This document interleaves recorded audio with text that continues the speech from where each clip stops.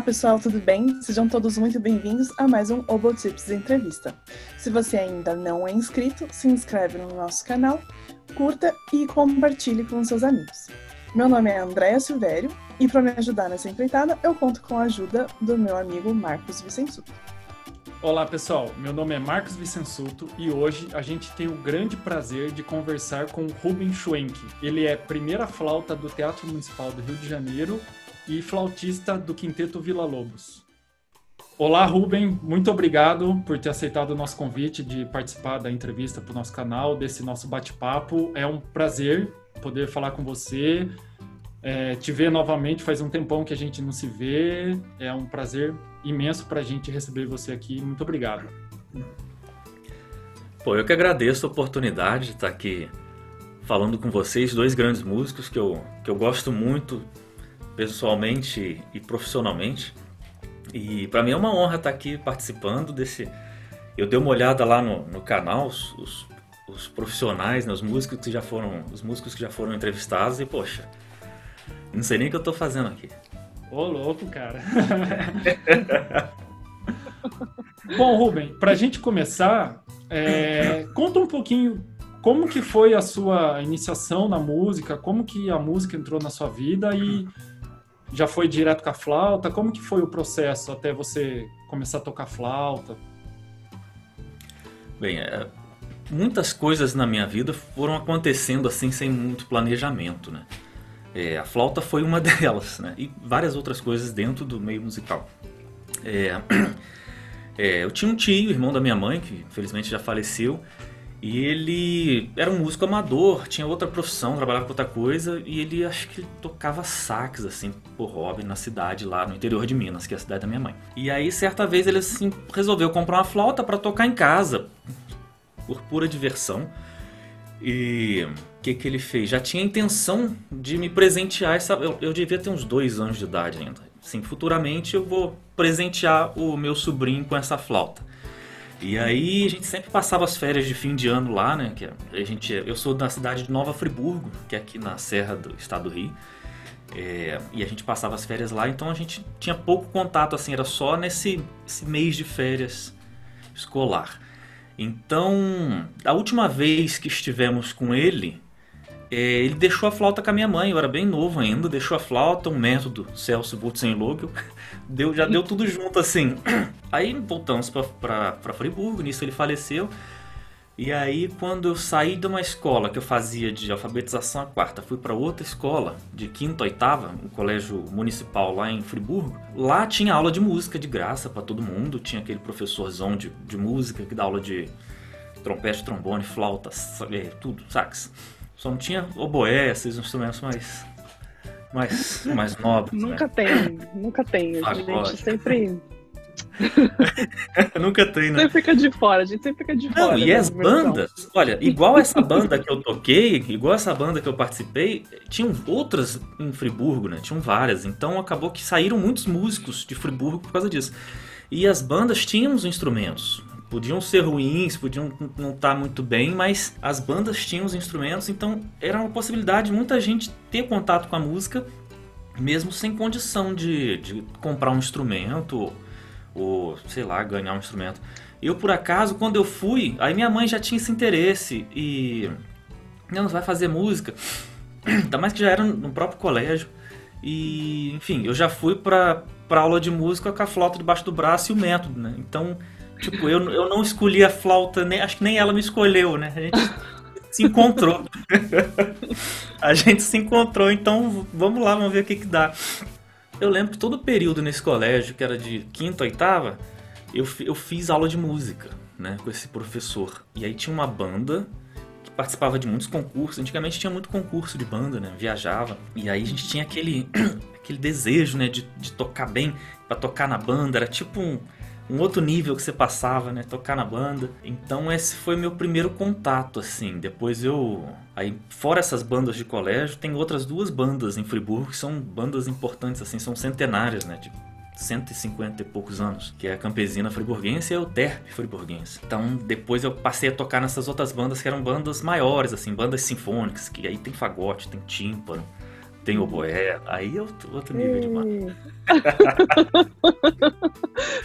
e aí foi, aí nunca mais parei de tocar. Uma vez até pensei em tocar fagote, mas eu desisti logo, né? Não consegui deixar a flauta, não. As letras te desanimaram? As letras te desanimaram? O número de chaves no dedão? O que, que te desanimou? O tamanho? Eu acho que é a falta de, de um professor, que eu, eu não sei hoje em dia.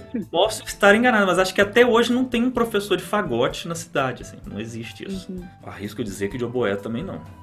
Então era assim, não era, não bastava nem ter um instrumento, né? Eu comecei a estudar num, num fagote francês.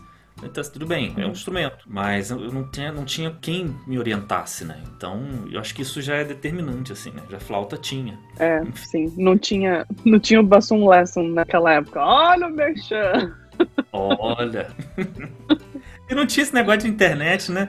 Não ah, tinha nada disso. E... Então, não tinha curso de fagote online, não tinha como aprender palheta online. Mas aí você e a flauta se encontraram, ué. Tudo bem, foi legal. É, foi, foi bom.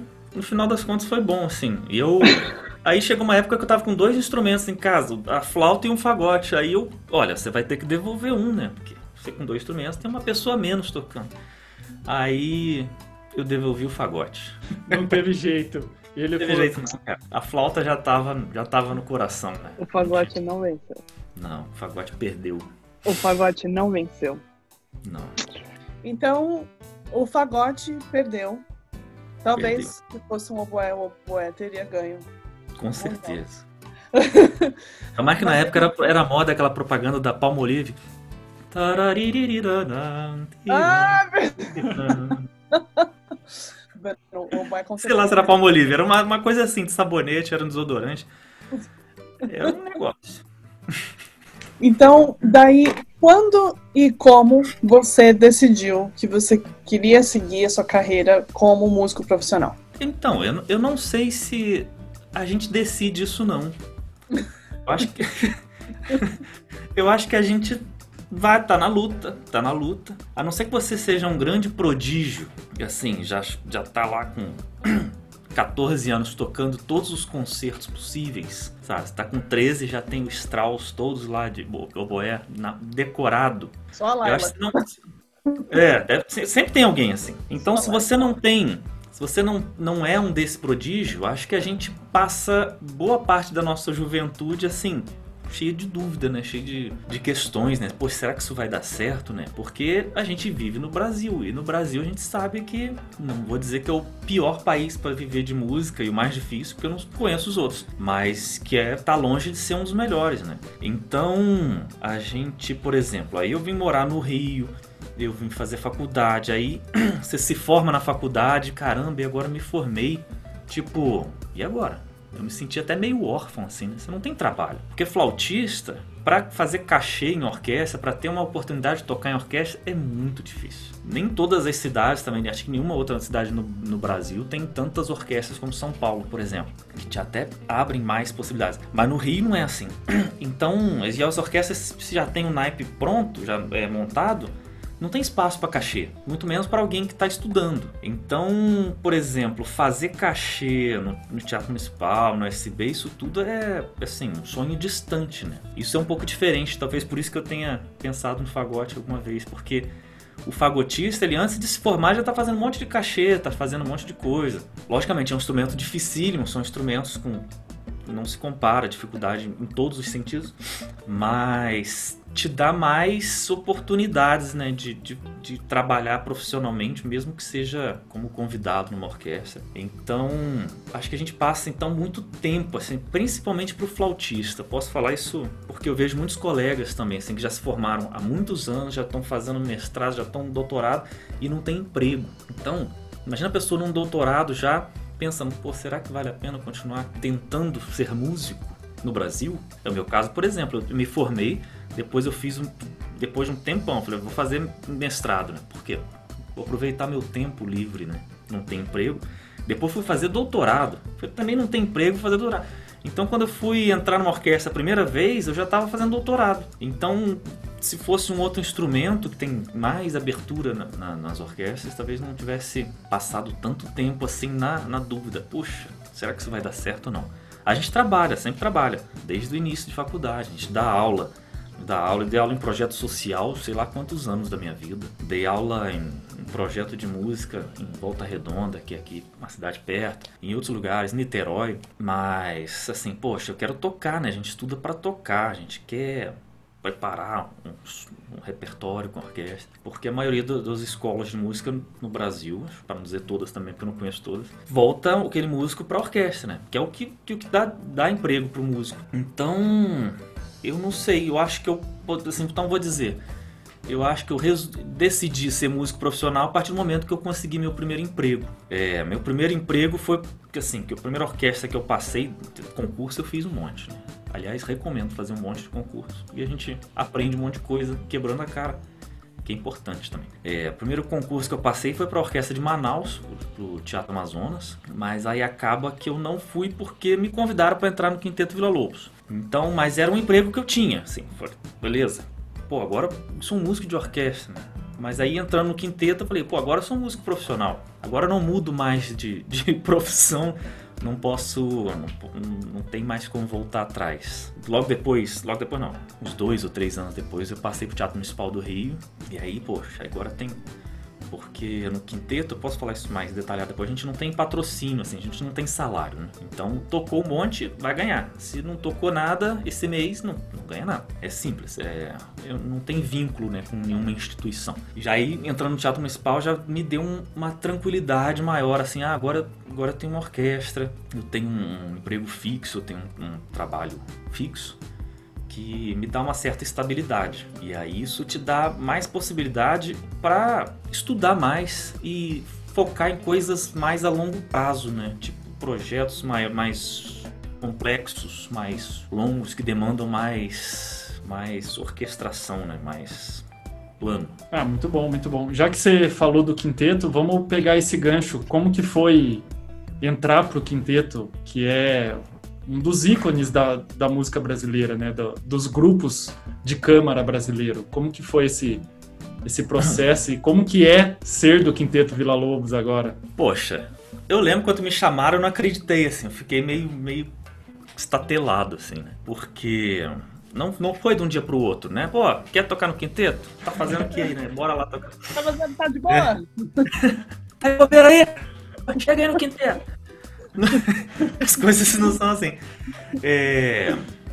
Enfim, eu falo do quinteto por, com, com dois, dois viés. Eu falo assim de duas, duas perspectivas. Eu falo como músico integrante do grupo já há oito anos quase. E também como fã do grupo, né? Porque antes de eu tocar no grupo eu era fã.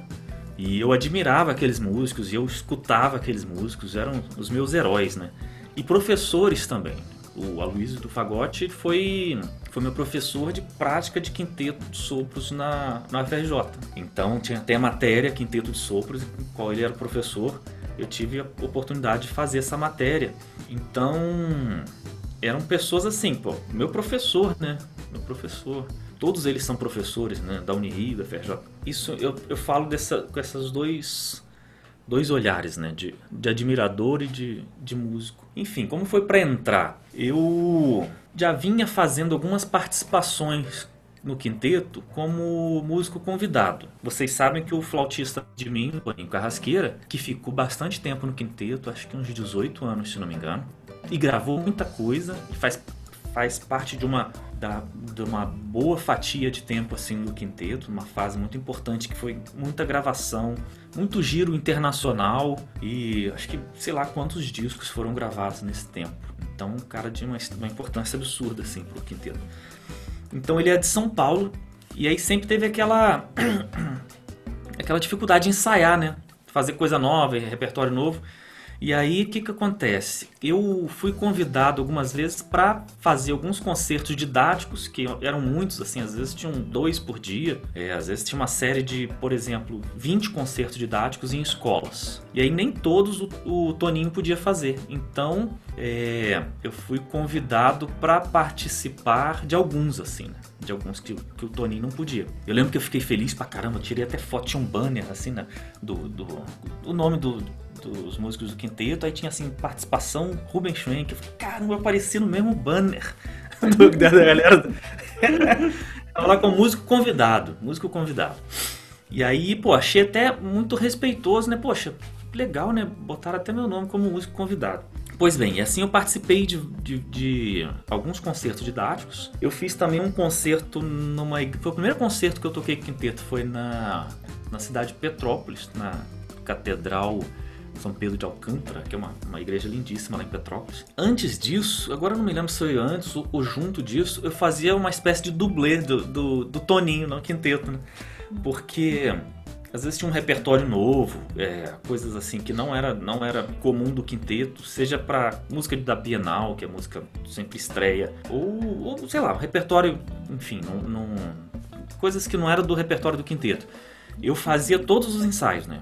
O quinteto ensaia duas vezes por semana, a gente já ensaiou mais vezes, mas o básico era duas vezes por semana. Eu fazia esses ensaios todos, aí todo mundo podia entender a música, marcar as respirações, marcar tudo que tem que fazer. E eu ensaiava como se fosse tocar. E aí, por exemplo, fosse tocar em Curitiba. Aí os quatro músicos saíam do Rio para Curitiba, o Toninho de São Paulo para Curitiba, eles se encontravam lá um dia antes, dois dias, não sei. Ensaiavam ali e tocavam. Então, porque já tinha quatro músicos ensaiados, né? É, porque é difícil, não tem como ensaiar um quinteto sem, sem um músico, né? Então, não, não tem como. E aí isso eu lembro que foi muito bom para mim. Primeiro que eu também tava assim, pisando nas nuvens, né? Caramba, eu tô tocando com, com Philip, sabe? Que é um dos maiores trompistas que tem no Brasil, com Just, com Paulo Sérgio. Paulo Sérgio eu lembro de escutar, eu escutar as gravações do Paulo Sérgio desde quando eu era moleque, sabe? Adolescente.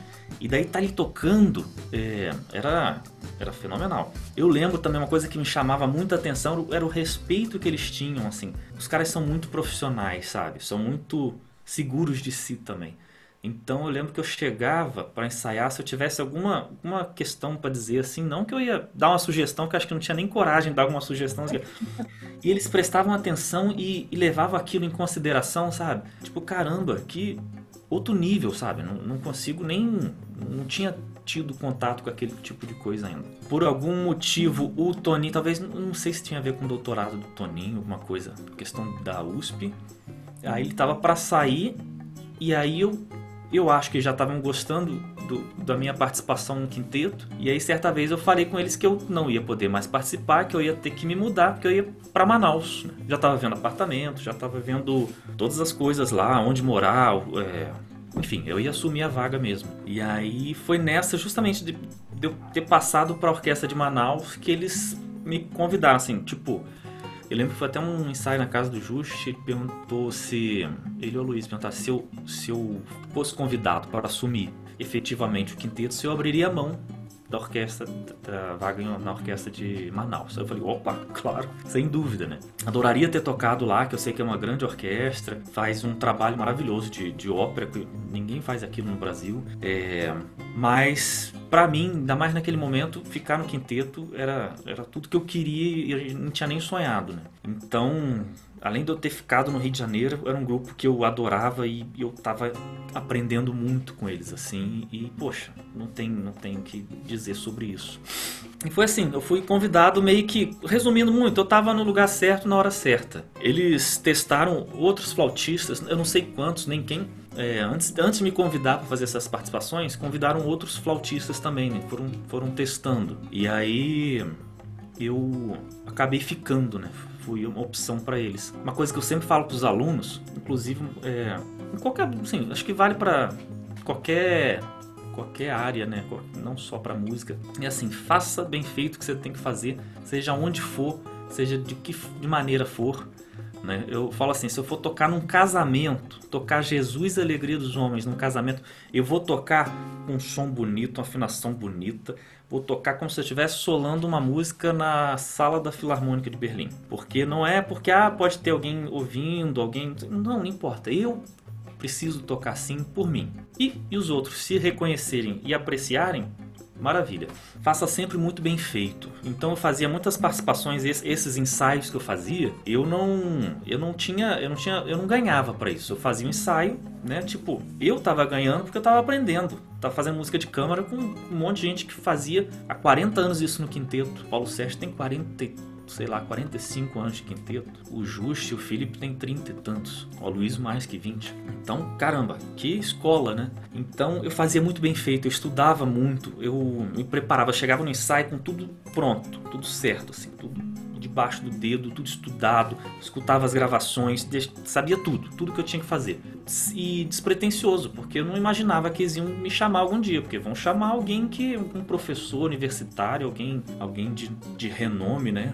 Alguém alguém até de repente que tá fora, que queira voltar pro Brasil, né? Não eu, eu tava ali, mas talvez eu, eu atribua isso, a fazer as coisas mesmo sem pretensão fazer bem feito, fazer direito. Vale para qualquer coisa na vida e qualquer área. É, verdade, com certeza, porque com certeza os outros membros do quinteto, eles viram que você estava pronto, né, pro ensaio. Quando a gente fala de ensaio, é isso, é você chegar sabendo a parte, ter escutado a gravação. Não é a hora do ensaio para aprender as notas, é too late, é, é tarde demais. Obviamente que você não ia chegar no ensaio lendo as partituras, né? Óbvio. Mas isso geralmente te coloca na frente de, de muitas outras pessoas, né?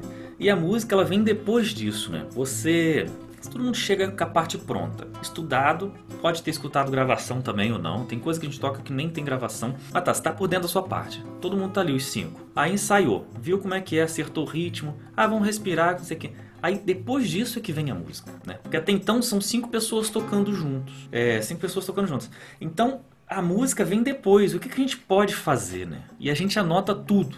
Assim, nota, anota todas as coisas. Respiração, tá tudo marcado. Cada um sabe onde vai respirar, quem que dá entrada, quem que corta. Isso é tudo muito organizado, assim. Os ensaios. E se for uma música assim bem complexa e a gente gastar um ensaio inteiro só decidindo onde respirar, onde entrar, quem vai cortar, já está ótimo o ensaio, porque isso tem que estar tá perfeito. Então, foi uma das coisas que eu aprendi e me encaixei rápido com o quinteto, porque aí que aparece a música, aí que, aí que vem, aí que vem a ideia de um conjunto e não cinco pessoas só, né, tocando. Pessoal, a entrevista com o Ruben ainda não acabou. Se você ainda não é inscrito, se inscreva, ative o sininho para as notificações e compartilhe com seus amigos. Fiquem ligados que em breve vem a segunda parte.